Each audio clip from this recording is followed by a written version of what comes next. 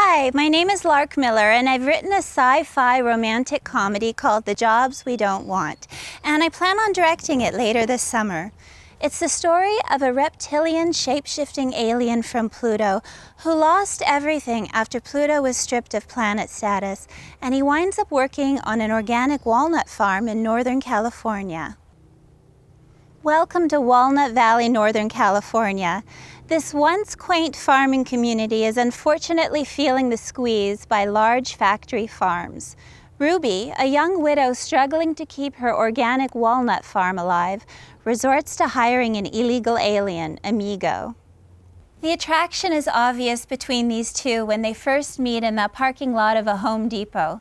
Little does Ruby know this charming illegal alien is actually a reptilian shapeshifter from Pluto, recruited by evil Martians to come to Earth and harvest brains.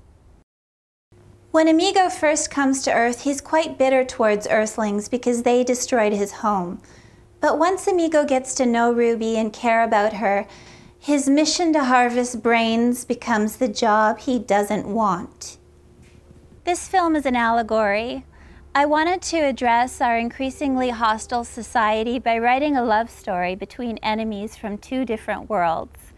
Um, it'll be live action with 3D animation, uh, set in the present day, yet it will have a retro vibe, kind of evocative of the creature feature films from the 1950s. And um, I have a wonderful crew of people coming together. My director of photography, Thomas Kelly, works on Man in the High Castle, also Once Upon a Time. And uh, Noah Van Buren 3D animator has already begun work on this production, and he won a prize at the Berlin Sci Fi Film Festival. And I'm also hoping that you'll come on board too and make a financial contribution and help this story become a film.